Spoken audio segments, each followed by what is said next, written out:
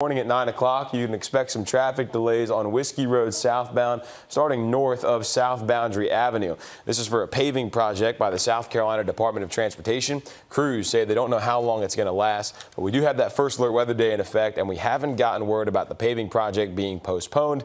In the meantime, though, you should take an alternate route and expect some delays.